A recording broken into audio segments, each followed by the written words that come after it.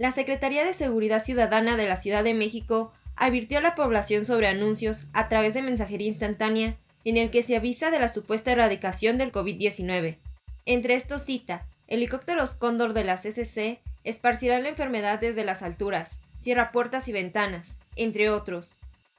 Al respecto, la CCC refiere que a través de la policía cibernética se mantiene en alerta para la detección de noticias falsas difundidas en aplicaciones de mensajería instantánea, por lo que en caso de dudas o detectar algún mensaje del tipo mencionado, insta a la población a contactarse con la policía cibernética.